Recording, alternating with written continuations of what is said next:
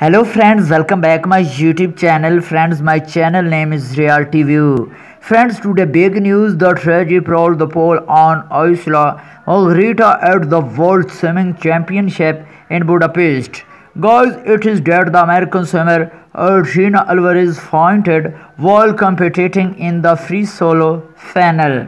And it was her coach Andrea Fuentes who reacted quickly to recuse her in time.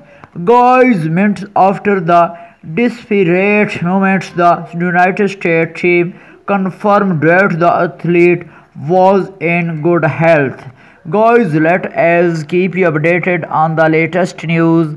The tragedy proved the pole on Isla Margarita at the World Swimming Championship in Budapest. Guys, this was the latest news. Do not forget to subscribe to our channel to get more latest news. Thanks for watching.